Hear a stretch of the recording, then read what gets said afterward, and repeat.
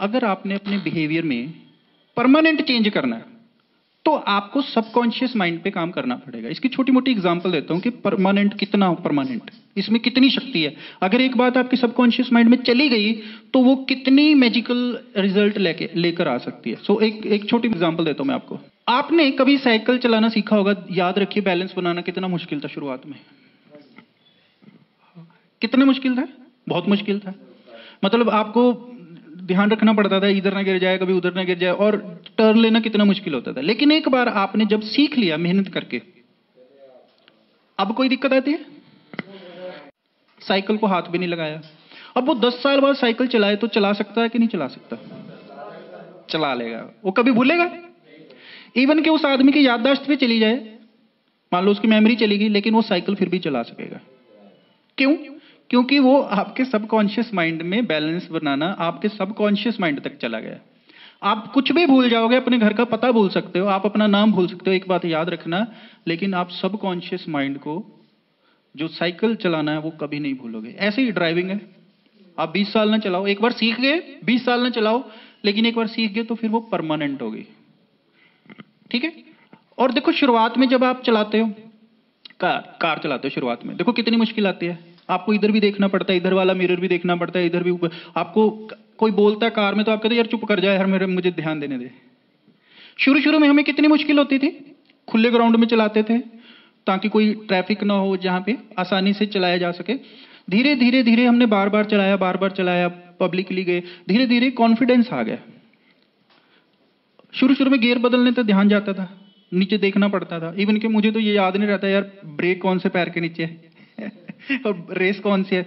तो याद किया हुआ था ए बी सी ए से एक्सिलरेटर बी से ब्रेक सी से क्लच तो ऐसे ए बी सी बनाई हुई थी दिमाग में, ये ए बी इधर है सी इधर है. सो कहने का मतलब ये है कि शुरुआत में बहुत सोच के करना पड़ता है, लेकिन अब गियर बदलते हुए सोचना पड़ता है? अब बातें कर रहे होते हो, गाने सुन रहे होते हो, आप ऐसे ऐसे हाथ चल रहा होता है, आपको खुद को भी नहीं पता होता कौन सा गेट पड़ा हुआ है. आपसे पूछा जाए, अब कौन से गेयर में है तो आपको देखना पड़ेगा कि कौन सा आपको पता ही नहीं होता सो अब सोचना पड़ता है कि कैसे करना है, क्या करना है. अब कोई भी इशू नहीं है. क्यों? शुरुआत में जब आप गाड़ी चला रहे थे तो आप कॉन्शियस माइंड से चला रहे थे। आपको मेहनत करनी पड़ती, देखना पड़ता था। आपका चेतन मन गाड़ी चला रहा था। लेकिन बार बार जब चलाया बार बार चलाया तो आपकी वही चीज़ आपके सबकॉन्शियस माइंड में चलेगी। अब ऑटोमेटिक माइंड काम कर रहा है। अब आपको सोचना नहीं पड़ता, आपका चेतन मन कुछ और भी कर सकता है। आप गाने भी सुन सकते हो एंजॉय कर सकते हो फ़ोन पे बात कर सकते हो, लेकिन आप गाड़ी आराम से चलती रहेगी, क्योंकि ऑटोमेटिक मेमोरी में चला गया वो। सो अब आपको कुछ करने की ज़रूरत नहीं। हाँ और आप चाह के भी भूल नहीं सकते, आप सोचो कि मैंने आज के बाद ड्राइविंग भूल जानी है। भूल के दिखाओ। तो तैरना एक बार सीख गया आदमी, वो भूल सकता है। चाहे 20 साल ना तैरे 20 साल बाद भी वो पानी में छलांग लगा स्टेमिना कम ज़्यादा हो सकता है। हाँ तैरना नहीं भूल सकता। सो एक बार जहाँ पे चली गई बात तो आप सोच के देखिए, जो आप ज़बरदस्ती करने की कोशिश कर रहे हो, आज आप कोशिश कर रहे हो नशा छोड़ने की, ज़बरदस्ती कोशिश करनी पड़ती है अच्छा सोचने की कोशिश करनी पड़ती है। लेकिन यही बात आपके सबकॉन्शियस माइंड में घर कर जाए। तो सोच के देखिए, आपको कुछ करना नहीं है। फिर आप चाहोगे पीने तो आपका माइंड कहेगा दबाओ। तो आप चाह के भी वो कर नहीं पाओगे। चेंजेस आए और ऑटोमेटिक आ जाए तो वो आपको ऐसे करना पड़ेगा। और एक और चीज़, आप देखो लैंग्वेज है। आदमी की याददाश्त चली जाती है, लेकिन उसकी भाषा तो कहीं नहीं जाती। लैंग्वेज तो उसकी रहती है ना। वो कहते कि, मैं कौन हूँ? वो बोल तो हिंदी में रहा है ना। तो वो बोलना तो नहीं भूला कि मैं कौन ये टेबल है ये कुर्सी है वो चीज़ें तो नहीं भूल पाया वो। वो ये भूल गया कि मैं कौन हूँ। है ना? मैं मैं कौन हूँ मैं कहा हूँ शहर का नाम भूल गया। लेकिन भाषा लैंग्वेज तो उसको अभी भी है ना। सो so, कहने का मतलब ये है जो सबकॉन्शियस माइंड में चली गई चीज़ें चाहे वो भाषा है चाहे ड्राइविंग है चाहे साइकिल बैलेंस बनाना है या स्विमिंग है वो आप चाहकर भी नहीं भूल सकते दैट इज़ परमानेंट बस एक बार आपको वहाँ तक लेके जानी है। एक बार वहाँ चली गई तो आप कभी भी नहीं भूल पाओगे। सो so, आगे और एग्जाम्पल्स देंगे। अभी अभी समझ आ रहा है ना बेसिकली मैं कहना क्या चाह रहा हूँ। एक और चीज़। इवन के देखो मेमोरी चली जाए तभी कई चीज़ें आप नहीं भूलते। एक छोटी सी एग्ज़ाम्पल देता हूँ। एक ना बड़ी इंटरेस्टिंग केस स्टडी पढ़ रहा था मैं। एक लेडी थी। वो घर से निकली सामान लेने। सो so, जैसे सामान लिया मॉल गई अपना सारा कुछ लिया। वो कहते, जब वो वापस आ रही थी, कई साल पुरानी बात है, कहते, जब वो वापस आ रही थी, अचानक से उसको क्या हुआ? मेमोरी चली गई। भूल गई। मैं कहाँ से आई हूँ? मैं कौन हूँ? वो बेचारी कोशिश कर रही है बैठ के। आप सोच के देखो, आप अचानक से गए हो बाज़ार। आपको याद ही ना रहे, यार, मैं कहाँ से आया हूँ? मैं कौन हूँ? एक मूवी आई थी ब्लैक अगर आपको याद हो अमिताभ बच्चन की तो उसमें ऐसे होता, उसके साथ, है ना? ऐसे ही होता है उसके साथ। तो ऐसे हुआ कि वो भूल गई, यार, मैं कहाँ से आई हूँ? मैं कौन हूँ? वो बड़ी टेंशन में हो गई। अब वो जितना याद करने की कोशिश कर रही है, उतनी एंग्जाइटी बढ़ रही है उसकी। और उतना बेचारी घबरा रही है। घंटा, दो घंटे बैठी रही सड़क के किनारे, फिर एकदम से वो रोना शुरू हो गई भाई यार, मैं तो कहाँ फंस गई? मुझे तो पता ही नहीं चल रहा, मैं आई कहाँ से हूँ, जाना कहाँ है? तो वहाँ पे कुछ लोग बड़े जेंटलमैन होते हैं, अंग्रेज़। तो कोई उसने देखा तो उसने क्या किया, उसको कहा, पुलिस स्टेशन ले चलते हैं। पुलिस स्टेशन ले गए। तो उन्होंने बड़ी कोशिश की, मैडम, आप यहाँ से आए हो, नाम ले रहे हैं, अलग अलग अलग अलग। वो कहती, मुझे कुछ नहीं याद वो जितना ज़्यादा पूछते हैं, जितनी ज़्यादा इंटेरोगेशन करते उतनी ज़्यादा घबरा जाती है। तो उनके साथ एक साइकोलॉजिस्ट की कोई क्लिनिक था, मनोरोग चिकित्सक होते जो तो वो उनके पास गए, कहते, भाई डॉक्टर साहब, आप आओ, एक ऐसे ऐसे करके केस है, अब इसकी हेल्प कीजिए आप। तो वो जब वो आया डॉक्टर उसने कहा साइकोलॉजिस्ट आया तो उसने कहा, मैडम, पानी पीजिए रिलैक्स कुछ सोचना नहीं, आप ठंडे दिमाग से बैठ जाओ। ठंडा करो दिमाग टेंशन ही लेनी पता चल जाएगा। रिलैक्स रिलैक्स जो पूरी रिलैक्स हो गई तो उन टाइम में वो दूसरे फ़ोन होते थे वो जो डायल करने वाले होते हैं ऐसे डायल करने वाले होते हैं तो वो कहता है कि मैडम ये लीजिए फ़ोन आप कोई भी नंबर डायल कर दो कोई भी नंबर डायल कर दो कहते उसने कहते मुझे कोई नंबर याद नहीं हो कहते हम्म, कोई प्रॉब्लम नहीं टेंशन ना लो आप बस उंगलियाँ घुमाओ। उंगलियाँ घुमा दो, या मतलब कुछ भी डायल करो। तो उसने एक नंबर डायल किया, ऐसे अचानक। तो वो रॉन्ग नंबर था, फिर लगाया। कहते दो चार नंबर उसने डायल किए, तीसरा चौथा नंबर उसके अपने घर का मिल गया। समझ आई कुछ? तो उसको याद कुछ नहीं है, लेकिन उसकी उंगलियाँ, जैसे आपको याद हो, जब आप घर का नंबर मिलाते हैं तो उंगलियाँ टक टक टक टक खुद चल रही होती है। आप देख रहे हो उधर और ऐसे चल रहा होता है। वो कैसे होता है? दैट इज़ सबकॉन्शियस माइंड कभी आपने टाइपिस्ट देखे टाइपिस्ट हाँ टाइपिस्ट अब तो कम हो गया इनका काम। पहले तो बड़े बैठे होते थे, कचहरी वगैरह जाओ तो बैठे होते थे। तो आप ना उनको बोल रहे होते थे, वो चाय पी रहा है, और टका, टक टका टक टका, टक, आपसे बात कर रहे हैं, और वो देख भी नहीं रहा नीचे, उंगली कहाँ जा रही है? है ना? वो पेपर में ही नहीं देख रहा। वो टक टक टक टक, ऐसे करता है ऐसे इधर उधर देख रहा है, वो टका, टक टका टक, टका टका, बोले जा रहे हैं, वो टाइप किए जा रहा है। तो उंगलियों को कैसे पता चल रहा है, यार एस है ए है आर है की है? क्योंकि उसने प्रैक्टिस इतनी की होती है, जब शुरुआत में वो करते हैं, वो धीरे धीरे जब वो शुरू कर रहा था, वो आप ही की तरह था। अब वो कोई चमत्कार नहीं है। उसने प्रैक्टिस इतनी की कि सबकॉन्शियस माइंड को उसका सारा सिस्टम पता चल गया। अब उसको देखना नहीं पड़ता, उसकी उंगलियाँ अपने आप ही वो ढूंढ लेती हैं डब्ल्यू कहाँ एस कहाँ आर कहाँ तो सबकॉन्शियस माइंड इतनी ज़बरदस्त चीज़ है, आप समझ पा रहे हो? सो इसमें इतनी पावर है। इस दुनिया में कोई भी महान काम है, कोई भी महान आदमी है, जिसको देख के आपके दिमाग में आता है, यार, ये कैसे कर रहा है? तो याद रखिए, वहाँ पे सबकॉन्शियस माइंड का रोल है। ठीक है? सो आगे डिस्कस करेंगे इसको चेंज कैसे करना। अभी तक समझ आ रही है बात? और इवन के, ये बेहोशी में भी काम करता है। जैसे कि मैंने बताया, उसकी याददाश्त चली तो भी याद है। इवन के देखो, कई बार ना मैं एक और एक इंटरेस्टिंग एग्जांपल देता हूँ अपने साथ रिलेटेड एक आदमी ने पूछा मेरे से, हाथ खड़ा किया। कहता, सर, मुझे ये बताओ, हमारे पड़ोसी के बारे में मैं पूछना चाहता हूँ। कहते वो ना एक शराबी है। वो कहते जब शराब पी लेता है ना, वैसे तो बड़ा जेंटलमैन है अच्छा। पर कहते जिस दिन शराब पी लेता है ना, फिर छेड़खानी करता है आने जाने वाली लड़कियों को कमेंट मारता है, ऐसे करता है, ऐसे करता है। कहते लेकिन वो जब साला घर चला जाता है तो अपनी बेटी को तो नहीं करता वो ऐसे। अपनी बहनों को तो नहीं, वो ऐसे करता। जब बाहर उससे पूछो, क्यों कर रहा कहता मैं तो पीती मैंने पता नहीं चले। लेकिन जब घर जाके करता है तो फिर तब क्यों नहीं ये हरकतें करता? या तो वो बाहर नाटक कर रहा है या फिर वो घर जाके मतलब कुछ तो है ना, इसके पीछे रीजन क्या है? अब इस चीज़ को समझिए, ऐसे क्यों होता है? हाँ जो आप जान हाँ सबकॉन्शियस माइंड का रोल है वो मैं बताता हूँ। देखिए, मैं आपको थोड़ा एग्ज़ाम्पल देता हूँ जैसे कि हमने वहाँ पे एक एग्ज़ाम्पल दी थी आइसबर्ग की।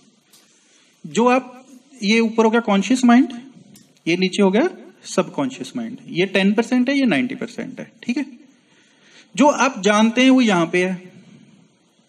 और जो मानते हैं, वो यहाँ पे है। जिन बातों को आप जानते हैं, वो यहाँ पर है, और जिन बातों को आप मानते हैं, वो यहाँ पर है। आपके बिहेवियर में चेंज उन बातों से नहीं आता जो आप जानते हैं। आपके बिहेवियर में चेंज उन बातों से आता है जिनको आप मानते हैं। अब इस चीज़ की एग्ज़ाम्पल देता हूँ। बहन बेटियाँ सबकी एक जैसी होती हैं। ये आप जानते हो। लेकिन हम ये बातें मानते? नहीं है। बहनों को सबकी बेटी बेटियाँ सब लड़कियाँ बहन जैसी होती हैं, ये हम जानते हैं। लेकिन कितने लोग हैं जो अंदर से मानते हैं, यार ये सारी मेरी बहन जैसी हैं? सो होता क्या था? जब तक उसने शराब नहीं पी तो वो वो काम करता था जो वो जानता। जब तक आप होश में हो, आप वो काम करते हो जो आप जानते हो। कर सकते हो क्योंकि होश है। लेकिन जैसे ही आपने नशा किया, तब आप वो काम नहीं कर रहे जो आप जानते हो, तब आपके ऊपर वो चीज़ हावी हो जाती है जो आप मानते हो। तो फिर आप उन तभी आप कहते हैं ना, किसी से सच निकलवाना तो उसको शराब पिला दो। जब तक आप होश में आप नहीं बकोगे भाई हाँ यार, मैंने नहीं करना। आप होश में हो, आपको पता क्या नुकसान होगा, इसका क्या फ़ायदा होगा। आपका कॉन्शियस माइंड जानता है, तोल सकता है, जान सकता है परख सकता है कि ये इस चीज़ का मुझे क्या नुकसान होगा। लेकिन आपका सबकॉन्शियस माइंड तो नहीं जानता ना। तो जैसे ही बंदे ने शराब पी, उसकी होश गायब हुई तो उसके अंदर से वो चीज़ें निकलनी शुरू हो जाएँगी जो वो मानता है। सो पॉइंट समझ आया? तो वो जानता था कि बहु बेटियाँ सबकी एक जैसी होती हैं। लेकिन जैसे शराब पी तो वो जानता था वो तो हो गया परे। वो जो मानता था वो अंदर से निकलना शुरू हो जाता। है सो क्लियर हो रही है? सो सबकॉन्शियस माइंड तो आपकी नींद में भी काम कर रहा है। आपकी बेहोशी में भी काम कर रहा है। सो so, अगर आप ये सीख लें कि वहाँ तक इंफॉर्मेशन डालनी कैसे है उसकी प्रोग्रामिंग कैसे करनी है तो आप इस दुनिया का कोई भी काम नशा छोड़ना तो एक छोटा सा काम है कोई भी काम कर सकते हो। सो so, थोड़ा सा एक एग्जांपल देता हूँ। आपका जो कॉन्शियस माइंड है, वो आपके सबकॉन्शियस माइंड जो आपका सबकॉन्शियस माइंड है, वो कॉन्शियस माइंड से तीस हज़ार गुना ज़्यादा शक्तिशाली है। अब इसके फ़ायदे भी बहुत हैं, इसके नुकसान भी है। अब एक आदमी जानता है कि नशा बुरी चीज़ है, नशा छोड़ देना चाहिए, लेकिन मानता क्या है कि नशा तो छोड़ना नामुमकिन है। एक बार अगर किसी आदमी को नशा लग गया तो नशा छोड़ना नामुमकिन है। अब जो वो जानता है और जो मानता है, उसका फ़र्क समझ आ रहा है? वो तीस हज़ार गुना ज़्यादा शक्ति है उसके विश्वास में कि नशा नहीं छोड़ा जा सकता। तो वो कभी छोड़ पाएगा? कभी भी नहीं। वो सोच रहा कुछ और है, कर रहा कुछ और है, क्योंकि जानने में और मानने में बहुत अंतर है। सो क्लियर हो रही है बात? सो so, अगर आपने अपने बिहेवियर को चेंज करना है तो जानने से बात नहीं बनेगी। ये लेक्चर सुनने से कोई हेल्प नहीं होने वाली। इससे सिर्फ़ इंफॉर्मेशन बढ़ेगी आपकी। लेकिन आपने अगर अंदर चेंज कर दिया आपके विश्वास में जो कि हम अगले सेशंस में डिस्कस करेंगे आप कैसे अपने सबकॉन्शियस माइंड में नई इन्फॉर्मेशन डाल सकते हैं? अगले सेशंस में हम इसी के ऊपर बात करेंगे। सो so, आज के दिन तो हम सिर्फ़ इसकी मैजिकल पावर को समझ रहे हैं कि इसमें शक्ति कितनी है। आज इतना भी समझ आ गया ना इसमें शक्ति कितनी है तभी हम काम कर पाएँगे कि इसको चेंज कैसे करना है। ठीक है इसको थोड़ा सा एग्ज़ाम्पल देता हूँ। आपका, इसमें क्या क्या होता है आपके सबकॉन्शियस माइंड में? थोड़ी थोड़ी अब एक्सप्लेन करता हूँ मैं थोड़े थोड़े हिंट देता हूँ। पहली चीज़ है आपका बिलीफ सिस्टम आपके विश्वास।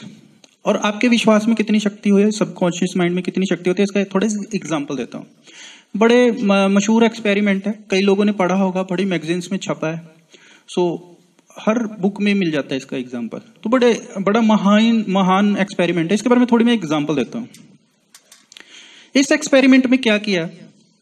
मनोवैज्ञानिकों ने ये जानने के लिए कि सबकॉन्शियस माइंड में कितनी शक्ति है और आपका बिलीफ सिस्टम कितना पावरफुल हो सकता है। इसके ऊपर एक्सपेरिमेंट हुए। ये आपका कितना नुकसान कर सकता है या कितना पावरफुल हो सकता है?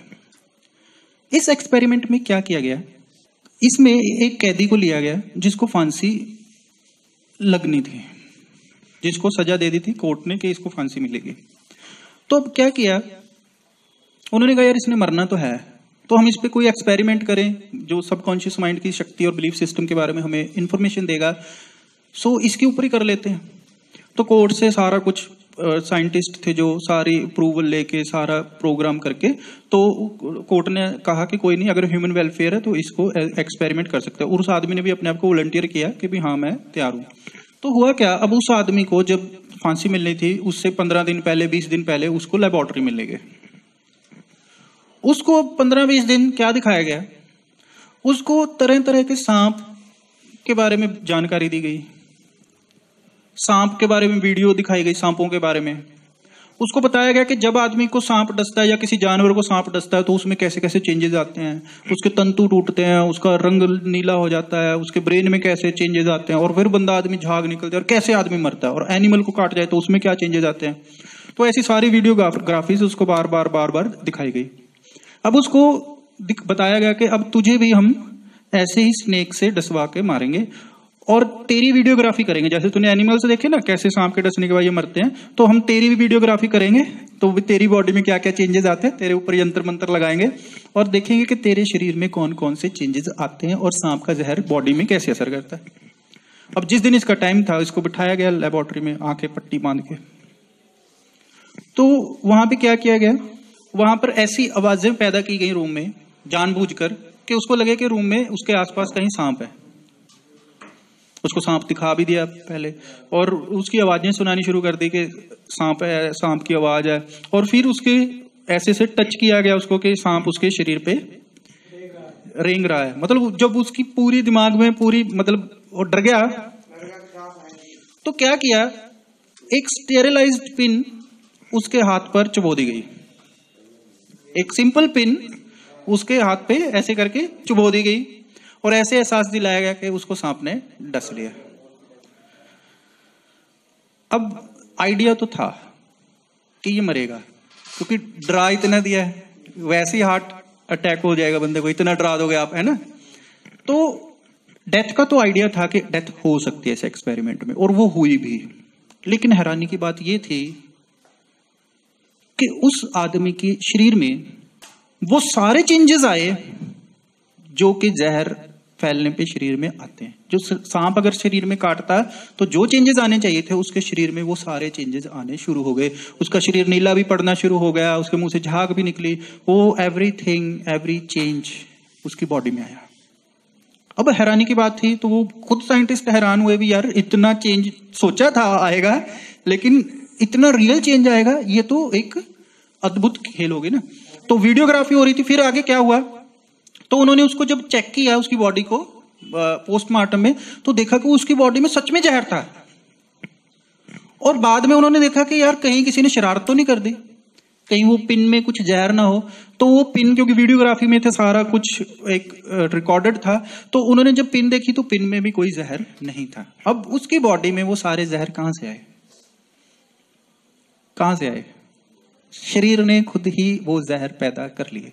कैन यू इमेजिन आपका दिमाग कितना पावरफुल हो सकता है। अगर आप किसी चीज़ पे विश्वास कर लो तो आपका शरीर कैसे रिस्पॉन्ड कर सकता है? अब हो सकता है कई लोगों के दिमाग में, यार ये तो थोड़ी अजीब लग रही है। तो इसके छोटे और वर्जन हुए, बहुत सारे एक्सपेरिमेंट हुए। एक छोटा सा एक्सपेरिमेंट और हुआ, उसके बारे में बताता हूँ। ये तो आम ही है। इसमें क्या किया गया? एक और एक्सपेरिमेंट हुआ, मैं इसके बारे में थोड़ा बताता हूँ। वो तो एक्सट्रीम था, था ना? हमें लगता है कि पता नहीं हुआ भी होगा कि नहीं हुआ आर्मी एक्सपेरिमेंट है पता नहीं पॉसिबल है भी कि नहीं। तो इसके बारे में बड़ी कंट्रोवर्सी है कई लोगों का मानना है कि नहीं ये कल्पना है तो ये हो ही नहीं सकता। तो कई लोगों का है क्योंकि आर्मी में बहुत सारे एक्सपेरिमेंट होते हैं जिनके बारे में कॉन्ट्रोवर्सी रह जाती है कि ये पॉसिबल है या नहीं ठीक? सो लेकिन एक और एक्सपेरिमेंट हुआ जो कि बड़ा पब्लिश भी हुआ।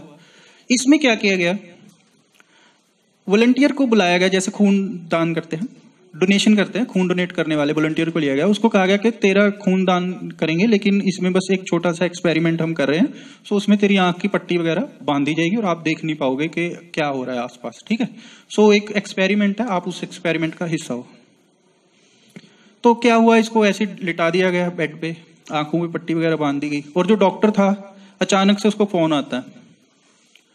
वो कहता अच्छा अभी आना पड़ेगा यार एक्सपेरिमेंट चल रहा है। वो कहता, नहीं, अभी आना पड़ेगा। वो कहता अच्छा अभी आना पड़ेगा यार, ओहो, यार, चलो, ऐसे करता हूँ, कुछ करता हूँ। तो वो अपने एक असिस्टेंट को बुलाता है, उसको कहता है कि, ऐसा है यार, मुझे जाना पड़ेगा, मुझे इमरजेंसी फ़ोन आ गया और मुझे जाना पड़ेगा, आप ना इस बंदे का खून लेना है और जब एक यूनिट पूरा हो जाए तो आपने ये यहाँ से बंद कर देना और इनको भेज देना मैं कोशिश करता हूँ, मैं पंद्रह मिनट में वापस आ रहा हूँ। क्योंकि अगर ज़्यादा खून इसका ले लिया तो ध्यान रखना पड़ेगा आपको, इसका ज़्यादा खून ले लिया, इसका तो खून पहले ही कम है तो अगर आपने ज़्यादा खून ले लिया तो ये बंदा बेहोश हो जाएगा। तो इतना कह के डॉक्टर साहब रूम से बाहर चले गए एक्सपेरिमेंट में। लेकिन उस आदमी का कोई खून लिया ही नहीं गया। उसको क्या किया गया?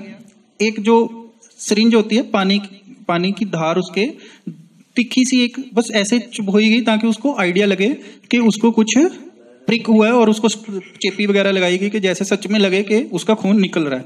लेकिन उसका कोई खून लिया ही नहीं गया। वो एक एक्सपेरिमेंट था। तो पंद्रह बीस मिनट बाद डॉक्टर साहब दोबारा आते हैं, कमरे में, रूम में एंटर करते हैं, दरवाज़ा खुलता है, आवाज़ सुनती है उस आदमी को और वो आते ही कहते हैं, ओ यार, क्या कर दिया? मैंने पहले कहा था इसका एक यूनिट खून लेना, आपने दो यूनिट ले लिया इसका। इसको बंद क्यों नहीं किया? ऐसे करिया और उसका फटाफट खोला और उसको उठाया, जैसे ही उठा वो चक्कर खा के गिर गया और बेहोश हो गया। और जब वो होश में उसको समझा रहे हैं वो पागल, तेरा कोई खून नहीं लिया। तो बाद में उसको वीडियो दिखाएगी, उसको विश्वास नहीं रहेगा, बेहोश कैसे हुआ? तो बेहोश कैसे हुआ, उसको सारा कुछ दिखाएगा, ये दिखते रहे तो कोई खून लिया ही नहीं गया। That was just experiment point समझ आ रहा है? मैं कहने क्या जा रहा हूँ। अगर आपके दिमाग में कोई चीज़ ठोक दी जाए तो आपका दिमाग असली की तरह रिस्पॉन्ड करता है। सो बिलीफ सिस्टम में इतनी पावर होती है। और छोटे छोटे एक्सपेरिमेंट में बताना चाहूँगा। ये मैं तो बता रहा हूँ कि आप पहले समझ लो इसकी पावर कितनी है। और ये हमें कितना प्रभावित कर सकते हैं। एक फ़ूड एक्सपेरिमेंट हुआ। ये बड़ी एक अच्छी एग्ज़ाम्पल मैंने पढ़ी थी एक किताब में। बड़ी अच्छी लगी मुझे। उसमें क्या हुआ? एक ना मैच चल रहा था। फुटबॉल मैच चल रहा है। तो मैच के दौरान क्या हुआ? एक दो आदमियों के पेट में पेन होनी शुरू हो गई फ़ूड पॉइजनिंग हो गई। अब जब उनको डॉक्टर ने चेक किया, उनसे पूछा, क्या खाया लास्ट में? तो वैसे पूछते हैं ना, वो कहते हैं, जी, हमने तो अभी ये, यहाँ से बर्गर खाया है। और एक ने कहा, मैंने यहाँ से फ्रेंच फ्राई खाई है, इस शॉप से, यहीं पे स्टेडियम में। तो वो एहतियातन फिर साथ के साथ वो शॉप बंद कर दी गई।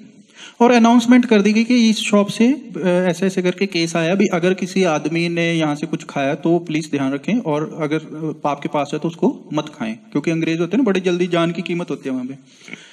तो क्या हुआ? आधे घंटे के अंदर अंदर वहाँ पे कहते चौदह पंद्रह पेशेंट दाखिल हो गए। चौदह पंद्रह लोग वहाँ से, उस क्राउड में बीमार हो गए, उनको फटाफट लाया गया, वो वहाँ पहुँचे तो उनको चेक किया गया। उनमें से तीन तो बड़े सीवियर पेन थी, उनको हॉस्पिटलाइज किया गया, अंदर भेजा तो कुछ को ऐसे रखा गया। तो बाद में पता चला, जाँच से उस खाने में तो कुछ भी नहीं था। वो खाना तो बिल्कुल सही था। उनसे पूछा गया, इससे पहले क्या खाया था? उन्होंने कहा, इससे पहले हम सड़क पर रुके थे, वहाँ पे चीज़ खाई थी। तो गड़बड़ कहाँ थी? वहाँ थी।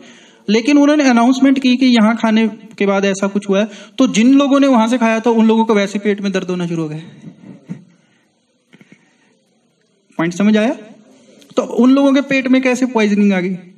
तो ये एक नहीं, दो नहीं, दुनिया में बहुत सारे ऐसे बड़े इंटरेस्टिंग वो हुए हैं। एक और छोटी सी बात एग्ज़ाम्पल देता हूँ। एक होता है प्लेसिबो इफ़ेक्ट प्लेसिबो इफ़ेक्ट तो आपने सुना होगा। सुना कि नहीं सुना? प्लेसिबो इफ़ेक्ट क्या होता है? ऐसे समझो कि कुछ दवाइयाँ ऐसी होती हैं, कुछ बीमारियाँ ऐसी होती हैं कि जिनकी कोई दवाई नहीं होती।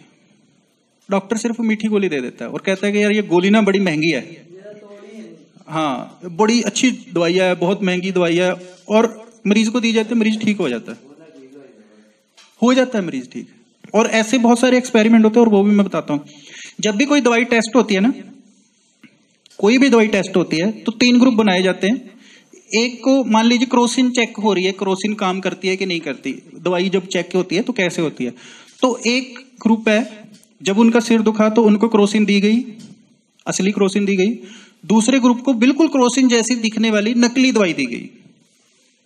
दिखती क्रोसिन जैसी थी, लेकिन उसमें क्रोसिन था नहीं। लेकिन इनमें किसी को भी नहीं पता क्या दिया गया। तीसरे ग्रुप को कुछ भी नहीं दिया गया। कुछ लोगों ने तो इसमें से ठीक होना था, क्योंकि उनको दवाई मिली थी। लेकिन कुछ ग्रुप में इसमें से भी ठीक हो जाते हैं। वो कैसे ठीक होते हैं? हाँ। क्योंकि उनको तसल्ली है कि हमने दवाई खाई है, हम ठीक होंगे तो वो ठीक हो जाते हैं। और ऐसे होता है। मैं रियल एग्जांपल देता हूँ, शायद विश्वास भी ना है हम कॉलेज में पढ़ते जब स्कूल में पढ़ते थे ना, हमारा एक ऐसी दोस्त था, उसका सिर दुख रहा था। तो हम खेल खेल में ना शरारत में चौक चौक होता था, उसको काट के उसकी ऐसे ऐसे करके गोली बनाई, उसको वैसी हँसी हँसी मैंने कहा, मैं क्या खा ले? तो आज पंद्रह मिनट बाद पूछा, कैसे? कहता, ठीक हूँ।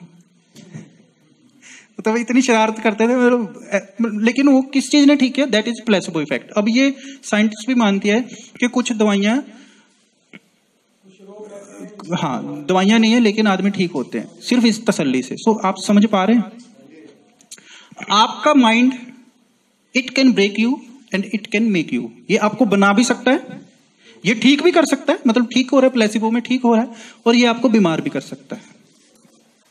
आपको समझ आ रही है, आपके माइंड में कितनी शक्ति है। अगर आपके दिमाग में गलत बिलीफ बैठ गए तो आप समझ पा रहे हैं क्या होगा। एक और चीज़, एक छोटी सी एग्ज़ाम्पल लेते हैं। मैं ये सारी एग्ज़ाम्पल तो ले रहा हूँ कि आप इसको रिलेट कर पाए। ऐसा ना हो कि आप कहें, यार, ये तो कहानियाँ जी सुना के चले गए, पता नहीं ये काम करती भी कि नहीं करती। मैं अब आपकी ज़िंदगी से जुड़ी हुई कुछ बातें करूँगा। आप में से कितने लोगों को लगता है कि अगर बिल्ली रास्ता काट जाए तो काम खराब हो जाता है। ईमानदारी से हाथ खड़ा करना। नहीं, कोई मानता, कोई नहीं मानता, बस आप अपना बताइए, आप मानते हो कि नहीं मानते? ज़्यादातर लोग मानेंगे नहीं बट मान वैसे ज़िंदगी में मानते। हाँ मानते हैं। है ना? अच्छा कितने लोगों को लगता है कि फ़र्क पड़ता है? ईमानदारी से। क्लैपिंग कर दो जो ईमानदारी से हाथ खड़ा कर रहे हैं। क्लैपिंग कर दो इनके लिए। ईमानदारी तो है ना कम से कम। अच्छा। किन लोगों को लगता है कि कोई फ़र्क नहीं पड़ता यार? अच्छा आप में से कुछ लोग ऐसे भी हैं जिनको लगता है कि कोई फ़र्क नहीं पड़ता। अच्छा आप दोनों में से सही कौन है?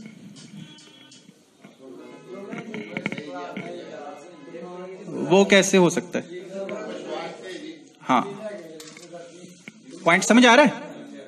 और एक टोने की एग्जांपल लेते हैं। रास्ते में टूना पड़ा है, जादू टोना होता है ना? उसको अगर क्रॉस करते हो तो उससे नुकसान हो सकता है कि नहीं? अब बहुत सारे लोग कहेंगे, कुछ नहीं होता, लेकिन रियलिटी है, जब रस्ते में पड़ा होगा तो वो ऐसे बच के निकलेंगे। तो उनसे पूछो, ऐसे क्यों किया? तो वो कहेगा, यार फिर अब पंगा भी क्यों लेना है? मानता था मैं नहीं, पर पंगा भी क्यों लू? हाँ होते हैं कई लोग, खाने वाले भी होते हैं, उठा लेते हैं कई लोग बीच में से। पर ज़्यादातर लोग कैसे हैं, हम इंडियन में से, हमारे दिमाग में डर बचपन से बिठा दिया गया। हम उस चीज़ से, पढ़ा लिखा आदमी भी मैंने देखा तो उससे बच के निकलेगा। वो क्या कहेगा कि यार क्यों पंगा लेना है? क्यों पंगा? सो so, अब बात यह है बिल्ली के रास्ता काटने से फ़र्क पड़ता है या नहीं? कुछ लोग मानते हैं फ़र्क पड़ता है और कुछ मानते हैं फ़र्क नहीं पड़ता। तो कौन सही दोनों सही ये कौन तय करेगा फ़र्क पड़ेगा कि नहीं? ये आपका बिलीफ सिस्टम तय करेगा। जिन लोगों को विश्वास है कि फ़र्क पड़ेगा, उनको ज़रूर पड़ेगा। जिनको विश्वास है कि कोई फ़र्क नहीं पड़ता तो उनको फ़र्क नहीं पड़ेगा। वास्तव में फ़र्क बिल्ली से नहीं पड़ता। फ़र्क पड़ता है आपके विश्वास से, जो आपके सबकॉन्शियस माइंड में बैठा हुआ है। जादू टोने से नहीं फ़र्क पड़ता फ़र्क पड़ता है आपके मन में जो उसके लिए बैठा हुआ विश्वास है। अगर आपको विश्वास है कि इससे फ़र्क पड़ेगा तो आपको ज़रूर फ़र्क पड़ेगा। आप बीमार हो गए। अगर आपको लगता है इससे कोई फ़र्क नहीं पड़ता, सच में आप ये मानते हो तो आपको कोई फ़र्क पड़ने वाला नहीं है। एंड ये मैजिक है आपके दिमाग की शक्ति का। सो इन शॉर्ट ये सारी शक्ति आपके दिमाग में है। इवन के देखो, कई लोग ऐसे मिलेंगे, आप उनसे पूछो, यार, फ़र्क पड़ता है? वो कहानियाँ बताएँगे आपको। अपने एक्सपीरियंस बताएँगे हाँ यार, फ़र्क पड़ता है। देखो, मेरे साथ ऐसे हुआ था। मेरी ज़िंदगी में बिल्ली रास्ता काट गई, देखो, मेरा काम खराब हुआ था। उनके पास कहानियाँ होंगी, उनके पास एक्सपीरियंस होगा, उनके पास रियलिटी होगी, वो कहेंगे, यार, मेरे साथ हुआ सर, ऐसे? मैं टोने को गलत कैसे कर दू? मुझे तो बुखार हो गया। ऐसे भी लोग होंगे जो कहेंगे, जो नहीं मानते उनके पास, उसकी एग्ज़ाम्पल होंगे, उसके तर्क होंगे, वो कहेंगे कि, सर, मैं तर्क दे रहा हूँ, देखो, मेरे सामने से बिल्ली निकालो, मुझे कुछ नहीं हुआ इवन कि मेरे साथ तो दो बार हुआ बिल्ली रास्ता काट के अगले दिन वहीं से गुजरा तो बिल्ली मरी मिली मुझे। मैं कहा, यार, बिल्ली भी कह रही होगी किस आदमी के रास्ते पड़ी में। दो बार हुआ मेरे साथ ज़िंदगी में। तो ऐसे भी हो जाता है कई बार, वो कहेगी बड़ा खराब आदमी है ना, ग्रह खराब कर दिया मेरे। ज़्यादा पॉजिटिव निकल गया। ऐसे भी हो जाता है ना? तो अब बात ये है कि ये क्यों होता है ऐसे? मैं एक छोटी सी एग्जांपल देता हूँ। हमारा माइंड कैसे काम करता है? आपने देखा होगा हम सभी के गली मोहल्ले में ना एक आधा आदमी ऐसा होता है, जिसकी ना मशहूर होता है कि यार इसकी शक्ल सवेरे सवेरे नहीं देखनी। होता कि नहीं होता? एक आदमी ना हर मोहल्ले में यार सारा दिन खराब निकलेगा। है ना? हाँ। Whole day will be spoiled है ना? We think like that but आप सोच के देखिए हाँ आप उन लोगों से पूछिए, वो कहानियाँ भी सुनाएँगे यार, ऐसे हुआ, चटपटी कहानियाँ होती हैं, किससे होते हैं, हर आदमी के साथ जुड़े। और टोटके भी होते हैं। टोटके बनाए होते हैं कि यार, अगर ये बंदा सुबह दिख जाए ना तो आपने जूती झाड़ लेनी है। चढ़ाई की मिट्टी कर देनी है, या वापस चले जाना है। होते हैं ना? हाँ वापिस चले जाओ। हाँ ऐसे कर लेना। तो एक एग्ज़ाम्पल देता हूँ रियल लाइफ हमारे मोहल्ले में भी ऐसी एक आंटी जी थे हमारे बड़े मशहूर थे। तो हम जब छोटे छोटे थे हम सुनते होते थे गली मोहल्ले वाली लेडी जब बातें कर चटपटी सी बातें कर रही होती थी ये पहने द मुँह ना देखे सवेरे सवेरे। तो हम भी सुनते रहे बचपन हैं जी। आ, इसके मत्थे मत लगना सुबह के टाइम। तो हम भी सुनते थे बचपन से हमने भी सुन रखा था। तो हम हमारे दिमाग में वो चाबी भरी गई कि यार इसकी शक्ल नहीं देखनी सुबह सुबह तो हमने क्या करना शुरू कर दिया? घर से जब भी निकलना तो बच के निकलना यार, ये सामने ना पड़ जाए। इवन के यूनिवर्सिटी टाइम तक भी मैं बता रहा हूँ, मेरे घर से इधर को रास्ता जाता था ना, जैसे बाज़ार की तरफ़ तो मैं इधर से नहीं कभी गया। तो मैं इधर को जाने के बजाय ना, घूम के 500 मीटर इधर से जाता था। भी यार, ये रास्ते में ना मिले मुझे। इसकी शक्ल देखी तो काम खराब ऐसे होता है। तो मानता भी था। और ऐसा नहीं कि मैं मानता था, मेरे साथ ऐसे हुआ। क्योंकि हर गली मोहल्ले के वाले के पास ना दो चार कहानियाँ थी जो उसके साथ हुई। अगला कहता यार, मैं गया तो मेरे साथ ऐसे हुआ यार। तो ऐसे कर करके मेरे पास भी चार कहानियाँ थी। मेरे साथ हुआ, रियल में हुआ, उसकी शक्ल देखी और सारा दिन मेरा काम खराब हो गया। तो कई एग्जाम्पल्स हैं इस चीज़ की। तो मन में, मेरे भी दिमाग में ये आ गया कि यार, ये तो ऐसे है। लेकिन जब हम यूनिवर्सिटी में गए तो मैंने जब इन चीज़ों के बारे में जानना शुरू किया, पढ़ना शुरू किया एट्रीब्यूशन बायस के बारे में समझा एट्रीब्यूशन क्या होती है फंडामेंटल एट्रीब्यूशन बायस के बारे में जब पढ़ा तो यार मैं हैरान हो गया, मैं यार ये तो बकवास है फिर यार मतलब मैं ऐसे मानता रहा इन चीज़ों को, इनका तो मीनिंग कोई नहीं। लेकिन मैं ऐसे कैसे मान लूँ? मतलब यहाँ लिखा है तो मैं ऐसे कैसे मान लूँ? मेरी ज़िंदगी में तो चेंजेस आते हैं ना। मेरी ज़िंदगी में तो उसने नुकसान किया। तो फिर मैंने उस दिन से ठान लिया एज ए साइंटिस्ट मैं गया यार, आज से मैं इस चीज़ को एक्सपेरिमेंट करूँगा। अगले एक महीने तक, भाई, इसकी शक्ल से कोई फ़र्क पड़ता है?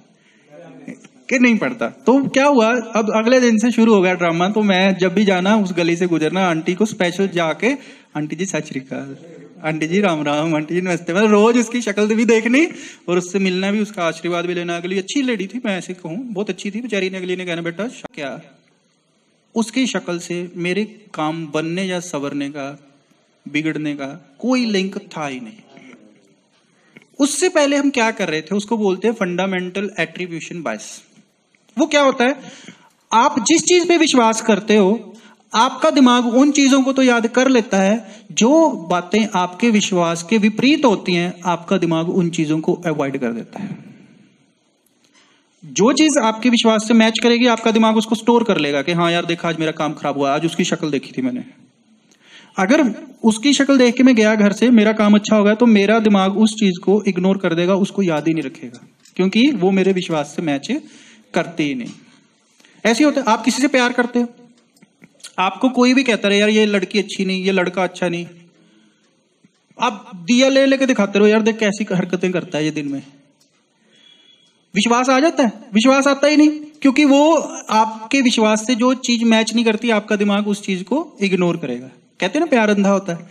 वो बेसिकली बिलीफ सिस्टम है। जिस चीज़ पे आप विश्वास करते हो, आपका दिमाग उस चीज़ को ही स्टोर करेगा, बाकी चीज़ों को अवॉइड करेगा। तो ऐसे ही था, जिस दिन उसकी शक्ल देखी, काम खराब होगा मेरे दिमाग ने उसको स्टोर कर लिया कि यार इसके वो वैसे ही खराब होना था। फॉर एग्ज़ाम्पल मैं वैक्सीनेशन के लिए बच्चों को लेके जा रहा था, अपनी भतीजियों को लेके जा रहा था। वैक्सीनेशन होती है ना? तो रस्ते में वो मिल गई आंटी जी। तो आगे गए तो कहते, जी, आज तो डॉक्टर साहब आए नहीं। तो वापिस आया तो मुझे लगा कि यार उसकी शक्ल देखी तो काम खराब हो गया। बाद में पता चला उसका तो दिन ही बुधवार था, मैं गया मंगलवार को था। वो वैक्सीनेशन होती बुधवार को, यार उसकी शक्ल से क्या लेना देना है? तो बुधवार को जाना चाहिए था मुझे तो जिस दिन था। तो लेकिन मेरे दिमाग ने वो सारे फैक्ट्स अवॉइड किए और उसकी शक्ल याद रखी। सो क्लियर हो रहा है? अब कहने का मतलब ही क्या है? इस सारी बात के पीछे सारे राज क्या है? अगर आपके दिमाग में कोई गलत विश्वास बैठ गया तो आप जितनी मर्ज़ी दवाइयाँ खा लो, जितनी मर्ज़ी कोशिश कर लो, ठीक होना मुश्किल हो जाएगा। अगर आपके दिमाग में यह बात किसी भी ढंग से बैठ गई कि मैं ठीक नहीं हो सकता तो फिर आपको कोई ठीक कर भी नहीं सकता। क्योंकि विश्वास ही तय करेगा कि आप कितना आगे जाओगे। सो गलत विश्वास अगर आपके दिमाग में ठुके हुए हैं, आप जितनी मर्ज़ी काउंसलिंग कराते रहो, आपका दिमाग उन चीज़ों को भूल जाएगा। डॉक्टर कहता रहेगा कि यार ये निकोटेक्स गम ले ले, इससे तुझे तलब नहीं लगेगी क्रेविंग नहीं होगी। आपको निकोटेक्स गम से इलाज नहीं होगा, कोई पागल सा बंदा कहेगा, साबुन खा ले। वो साबुन से आप ठीक हो जाते हैं। क्योंकि आपको जो डॉक्टर ने कहा, उस बात से आपका विश्वास मैच नहीं करता। लेकिन एक ऐसा आदमी से आप सहमत हो जाते हो जिसका अपना कोई दिमाग नहीं है, क्योंकि वो आपके विश्वास से बात मैच करती है। आपको अच्छी लगती है उसकी बात? वो कहता है कि अच्छा यार ये ठीक होगा तो मैं भी हो सकता समझ आ रही है ना? हाँ वो कैसे हो जाता है? वो साइकोलॉजिकली आप हो रहा है ना? बेसिकली उसमें कोई नशा तो है नहीं। बस आप साइंटिफिकली कुछ नहीं है उसमें। बस आपको एक तसल्ली हो रही है, क्योंकि इन चार बंदों ने कहा कि इनको तसल्ली मिल गई तो मुझे भी मिल जाएगी। लेकिन उसमें कुछ नहीं है, वो आपका सबकॉन्शियस माइंड ही प्ले कर रहा है आपके साथ। क्लियर हो रही है बात? सो so, जैसे उस दिन भी मैंने एग्ज़ाम्पल दी छोटी छोटी कि गलत विश्वास कैसे पैदा होते हैं। उस दिन मैंने एग्ज़ाम्पल दी कि एक हाथी का बच्चा एक इतना बड़ा हाथी है वो तोड़ नहीं पा रहा था वो महाबत हाँ वो कहता मैं छोटे से हाथी को लाया था और ये तब कोशिश करता था छूटने की लेकिन तब ये छूट नहीं पाया क्योंकि ये बहुत छोटा था। धीरे धीरे इसने प्रयास करना बंद कर दिया क्योंकि इसके माइंड में एक विश्वास बैठ गया कि मेरे से ये रस्सी नहीं टूटने वाली। तो अब ये बड़ा हो गया, इसमें ताकत भी है, लेकिन ये अब प्रयास ही नहीं करेगा। हाँ हाँ वो हमने बात की है ना? सो इसी तरीके से अगर आपके दिमाग में कोई गलत विश्वास घर कर गया, एक बात याद रखिए तो जब तक वो विश्वास नहीं निकलता, आप ठीक नहीं हो पाओगे। हाँ आपको वो जड़ से उखाड़ के फेंकना पड़ेगा। छोटी छोटी सी बातें करता हूँ कि विश्वास कैसे काम करते हैं। एक छोटी सी एग्जांपल देता हूँ, आपने ये कहानी भी सुनी होगी, बड़ी फ़ेमस कहानी है, थॉमस एडिसन के बारे में। थॉमस एडिसन कौन थे? कौन थे? हाँ जिन्होंने लाइट बल्ब की खोज खोज की थी। सुने? और उन्होंने सिर्फ़ बल्ब नहीं बनाया, एक हज़ार से ज़्यादा पेटेंट है उनके नाम पे। एक हज़ार से ज़्यादा आविष्कार किए उन्होंने। इतना बड़ा साइंटिस्ट हुआ है। मतलब जीनियस माना जाता है, उसको जीनियस माना जाता है। हाँ थॉम्स एडिसन एल्वा तो उनकी रियल की कहानी बताता हूँ मैं। जब वो स्कूल में थे, जब वो स्कूल में थे, वो कोई खास इंटेलिजेंट नहीं थे। वो अपने ख्यालों में खोए रहते थे। जैसे खोया खोया रहना टीचर ने समझाना, उसको पता ही कुछ नहीं चलना, पूछना, बाहर देखते रहना नेचर के साथ खेलते रहना। तो टीचरों को लगा कि यार टीचर्स को लगा कि यार ये मूर्ख है शायद। शायद ये मंदबुद्धि बच्चा है। तो टीचरों ने बड़ी कोशिश की, टीचर्स ने उसको पढ़ाने की, लेकिन वो पढ़ा नहीं पाए। एक दिन क्या हुआ तो टीचर्स इतने तंग आ गए, उन्होंने एक स्लिप लिखी और उसकी जेब में डाले गया था बेटा मम्मी को दे देना और कल से स्कूल मत आना। तो उसको समझ नहीं आया वो लेके चला गया, अपनी मम्मी को देता, उसको पढ़ना तो आता नहीं था, बहुत छोटा था। तो मम्मी को देता गया तो मम्मी मैडम ने ये भेजा और कह रही है, कल से स्कूल मत आना। तो माँ ने जब वो पढ़ा, उस स्लिप पे तो उसकी आँखों में आँसू आ गए, वो रोने लग गई। तो वो थॉमस एडिसन पूछता, माँ, तू रो क्यों रही है? तो माँ कहती, बेटा, बात ही ऐसी है। वो कहता, माँ मतलब ऐसा क्या लिखा है इस चिट्ठी में? जो तू रोने लगी? कहते, इसमें खुशी के आँसू हैं बेटा, ये मेरे। कहते, क्या क्या लिखा है? वो कहते, बेटा, इसमें लिखा है कि तेरा बेटा इतना जीनियस है। इसमें इतनी काबिलियत है कि हम इसको पढ़ा नहीं सकते। ये हमारे बस की बात नहीं है। आप इसको घर बैठ के पढ़ाइए। मतलब ये इतना जीनियस है। तो बच्चे को बड़ा बड़ा अच्छा लगा, यार, मेरे बारे में इतनी अच्छी बात लगी तो पूरी ज़िंदगी माँ ने उसको ला के देने, खिलौने ला के देने, उसको अच्छी अच्छी चीज़ें लानी, उसने जो पूछना उसको ला के किताबें देनी। तो वो घर पे ही पढ़ा। उसने घर पे एक्सपेरिमेंट किए। धीरे धीरे वो इतना बड़ा इन्वेंटर होगा जैसे मैंने बताया, एक हज़ार से ज़्यादा पेटेंट उसके नाम हुए। कहते, जवान हुआ माता जी भी पूरे हो गए। तो एक दिन कहते, जब वो जवान हो गया, बड़ी फैक्ट्री का मालिक हो गया, काफ़ी पैसे थे। एक दिन वो सफ़ाई कर रहा था माँ के सामान की। कहते, वही चिट्ठी वो माँ की डायरी में से कहीं नीचे गिरी और उसने उठा के जब पढ़ी तो उसकी आँखों में से आँसू आ गए। उस चिट्ठी पे असल में लिखा पता क्या हुआ था? ये आपका बेटा बड़ा नलायक है, इसको हम नहीं पढ़ा सकते घर ही रखा। लेकिन उसकी माँ ने उसको कभी भी ये बात ज़ाहिर नहीं होने दी। उसकी माँ ने उसको क्या कहा कि यू आर ए जीनियस उसकी माँ ने उसके विश्वास को कभी छोटा नहीं किया। जैसे मैं उस दिन ही बता रहा था ना सेल्फ एस्टीम क्या काम करती है? सेल्फ को माँ ने उसको हमेशा ही बूस्ट किया कि बेटा तू जीनियस है, तू जीनियस है जीनियस है। उसके अंदर ऐसा विश्वास पैदा कर दिया कि उसने खुद को जीनियस समझना ही शुरू कर दिया और उसने एक हज़ार से ज़्यादा आविष्कार कर दिया उसके बाद उसको पता चला कि यार मैं तो पागल था। क्योंकि उसकी माँ ने उसके सबकॉन्शियस माइंड में कोई गलत विश्वास कभी जाने ही नहीं दिए। सो पॉइंट समझ आ रहा है? सो so, विश्वास पॉजिटिव हो चाहे नेगेटिव काम तो करता है। ऐसी एक लड़की का नाम है मैं बताऊँ आपको विल्मा रिटोल्फ नाम सुना किसी ने इसका? विल्मा रिटोल्फ पोलियो पोलियो वाले देखे बच्चे? अब तो बहुत कम हो गया पोलियो जिनको होता है तो वो चल नहीं पाते। ठीक है? तो विल्मा रोडोल्फ एक ऐसी लड़की थी जिसको छह सात साल की उम्र में पोलियो हो गया। तो ये चल नहीं पाती थी।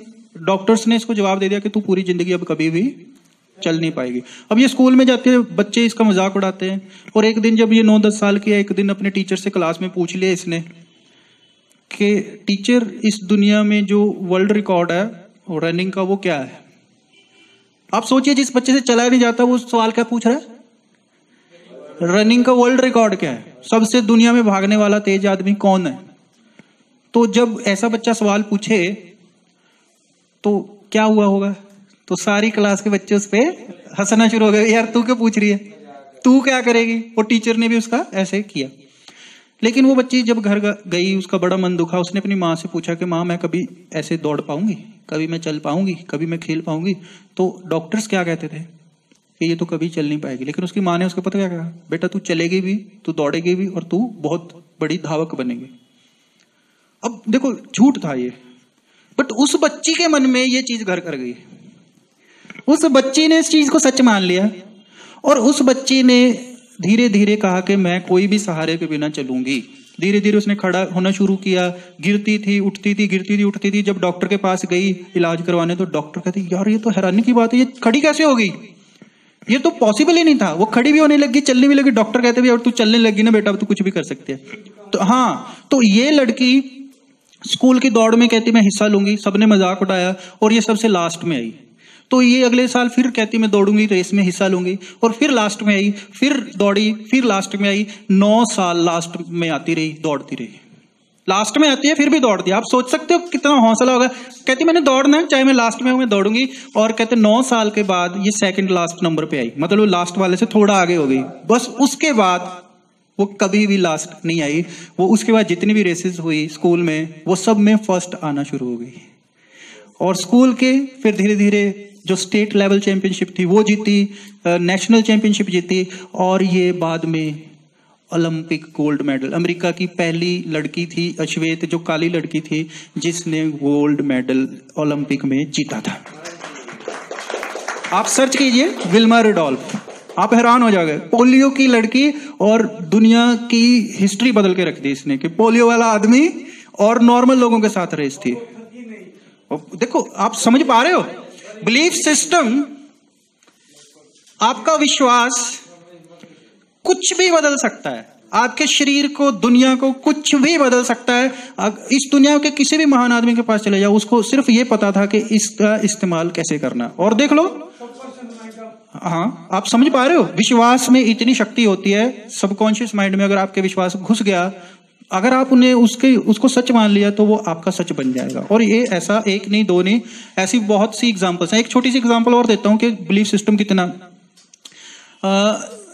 उन 1954 तक पूरी दुनिया ये मानती थी, हज़ारों साल से, कि आदमी एक मील का जो सफ़र है, वो चार मिनट से कम समय में पूरा नहीं कर सकता। हज़ारों साल से ये माना जाता था कि चार मील का जो फासला है वो एक मिनट से कम समय में, इससे तेज आदमी दौड़ ही नहीं सकता। इवन के थ्यूरीज आ गई थी वैज्ञानिकों ने कहना शुरू कर दिया कि आदमी इससे तेज दौड़ नहीं सकता। क्यों नहीं दौड़ सकता? आपने देखा होगा, इसकी स्ट्रक्चर ऐसी है, इसका ऊपर का वज़न इतना है, इसका नीचे का वज़न इतना है। सो इससे ज़्यादा दौड़ना नामुमकिन है। ऐसा माना जाता था, हर जगह माना जाता था कि आदमी इससे तेज दौड़ ही नहीं सकता। अचानक एक ऐसा पागल आदमी पैदा हुआ, जिसने कहा, यार, इसको तो मैं तोड़ूँगा रिकॉर्ड को। पागल क्यों? क्योंकि ऐसा विश्वास जिसको सारी दुनिया मान रही कि पॉसिबल नहीं, एक आदमी कह रहा है कि मैं तो इसको करूँगा। तो वो आदमी थे रॉजर बेनिस्टर 1954 में इन्होंने वो जो रिकॉर्ड था, वो ध्वस्त कर दिया। जीत गए। अब हैरानी की बात देखिए, जो रिकॉर्ड हज़ारों साल से नहीं टूटा, एक आदमी ने तोड़ा। जैसे ही इन्होंने तोड़ा तो अब क्या हुआ? अगले दो महीने में एक और आदमी ने वो रिकॉर्ड तोड़ दिया, जिनका नाम था जॉन लैंडी। जो हज़ारों साल से नहीं टूटा, एक आदमी के तोड़ने के बाद, दो महीने के अंदर अंदर एक और आदमी ने वो रिकॉर्ड तोड़ दिया और उसके आगे सोचिए, देखो कितनी इंटरेस्टिंग बात है। सो, सोलह लोगों ने तीन साल के, तीन साल के अंदर अंदर सोलह और लोगों ने वो रिकॉर्ड तोड़ दिया और उसके बाद और और और आज हज़ारों आदमी उस रिकॉर्ड को तोड़ चुके हैं। पॉइंट समझ में आया? पहले क्यों नहीं तोड़ पा रहे थे? पहले कोई भी नहीं कर पा रहा था। क्योंकि सब जिस चीज़ को मान रहे थे वो हमारे दिमाग में घुस गई बात के इससे तेज तो हो ही नहीं सकता तो हम उस चीज़ का प्रयास भी नहीं करते थे। लेकिन जैसे ही एक आदमी ने किया वो जो बाउंड्री हमारे दिमाग में बनी हुई थी कि इससे ऊपर कुछ नहीं तो वो बाउंड्री उस आदमी ने तोड़ दी। जैसे ही वो विश्वास टूटा तो लोगों की ऐसी सेना खड़ी हो गई जो कहते ये तो कुछ है ही नहीं इससे भी तेज हम दौड़ के दिखाएँगे। पॉइंट समझ में आ रहा है? सो बिलीफ सिस्टम आपको रोक के रखने वाली कौन चीज़ है? आप में से कई लोग होंगे जो दो महीने ठीक, दो महीने तक ठीक रहते हैं, फिर नशे पे लग जाते हैं। आप में से कुछ लोग होंगे, पंद्रह दिन में वापस आ जाते हैं। आप में से कुछ लोग होंगे, यहाँ से जाएँगे, छह महीने बाद वापस आएँगे। आप में से कुछ लोग होंगे जो जाएँगे, ठीक होंगे और कभी वापस नहीं आएँगे। कौन तय करेगा? आपका बिलीफ सिस्टम आपका सोचने का तरीका तय करेगा कि आप ठीक हो गए कि नहीं? इस दुनिया में कोई भगवान नहीं बैठा जो तय करेगा कि आप ठीक हो गए और ये ठीक नहीं होगा। किसी ने नहीं तय करना कि ये ठीक होगा और वो ठीक नहीं होगा। कोई भगवान नहीं बैठा ये तय करने के लिए कि यार इसकी किस्मत खराब है, इसकी अच्छी है। आपका ही अपना तरीका है। आपके अपने विश्वास हैं जो तय करेंगे कि आप ठीक हो गए कि नहीं। ठीक है? ठीक है? क्लियर हो रही है बात? सबसे पहले आपको ये सीखना होगा कि अपने विश्वास को चेंज कैसे करना है। अगर आपको लगता है कि मैं कभी ठीक नहीं हो सकता तो ये एक मिथ है। आप भी ठीक हो सकते हो। आपका बिलीफ तय करता है कि दुनिया कैसी है। अगर आपको लगता है कि कोई काम मुश्किल है तो वो आपको मुश्किल बनने लग जाएगा, आपको मुश्किल लगने लग जाएगा। अगर आप समझते हो कि कोई काम आसान है तो आपको आसान लगने लग जाएगा। अगर आपको कोई काम लगता है कि ये मैं नहीं कर सकता तो आपका दिमाग बहाने ढूंढेगा उसको ना करने के। अगर आपको लगता है कि मैं ये काम कर लूँगा तो आपका दिमाग तरीके ढूंढेगा उस काम को करने के। आपका विश्वास तय करेगा कि आप वो काम कर पाओगे कि नहीं। फॉर एग्ज़ाम्पल एक छोटी सी एग्ज़ाम्पल देता हूँ। सब कुछ आपके अंदर होता है। दुनिया में बाहर कुछ नहीं है। एक बच्चे को देखा जो डरता है? हो सकता है आपको भी हुआ हो कभी बचपन में अंधेरे से डर लगता हो। मुझे भी बहुत लगता था जब छोटा था। है ना? डर लगता है अंधेरे में जा, जाने से मन नहीं करता यार अंधेरा। तो ऐसे मेरी एक भतीजी है। बड़ी प्यारी है। तो वो अंधेरे से डरा करती थी। तो वो जाती नहीं थी कहीं भी। तो मैंने सोचा, मैं इसका डर निकालते हैं। तो बड़े इंटरेस्टिंग चीज़ हुई। मैं उसको लेके गया ऊपर छत पे। मैं लाइट लगा बंद करने के लिए भेजा। कहती, नहीं, मैं नहीं जाऊँगी। वहाँ पे भूत है फलाना दिन का मैं किस चीज़ से डरते है? कहती, पता नहीं, मुझे डर लगता है। तो मैं उसके साथ गया। मैं दूर खड़ा हो गया। मैं जा तू वहाँ पे स्विच ऑफ़ करके कहती, मैं नहीं जाऊँगी। मैं अच्छा किस चीज़ से डर लग रहा तुझे? ये बता। मेरे हाथ में टॉर्च थी। वो कहती, वो देखो, सामने क्या है? वो चेयर पड़ी थी। उसके ऊपर कपड़े कपड़े पड़े थे। वो देखो क्या है। तो मैंने उसके ऊपर टॉर्च मारी। मैं कहती बेटा, क्या है? ये तो कपड़े हैं, कुर्सी है। कहती अच्छा। मैं क्या जा, हाथ लगा। उसने हाथ लगाया, कहते हाँ इसमें तो कोई डरने वाली बात नहीं। मैं क्या अब किस चीज़ से डर लग रहा है? फिर भी डर रही थी। मैं क्या किस चीज़ से डर रहा है? फिर पर्दे की तरफ़ हाथ करते हो कहती वो उससे डर लग रहा है।